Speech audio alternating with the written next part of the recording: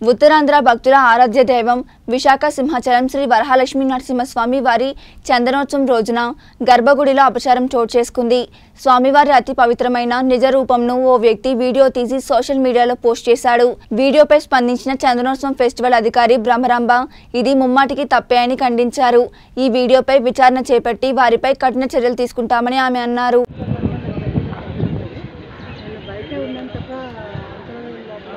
వెళ్ళి రాజా వచ్చినప్పుడు కానీ లేదంటే మినిస్టర్ గారు వచ్చినప్పుడు వెళ్ళొచ్చు అంటారు తర్వాత మళ్ళీ నేను లోపల జరగలేదు.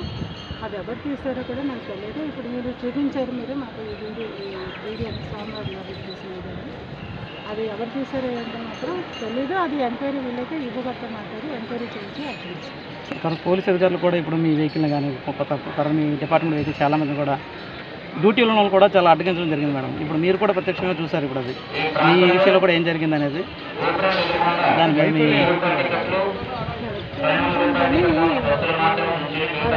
చూసుకోవాలి అది ఎవరి వెహికల్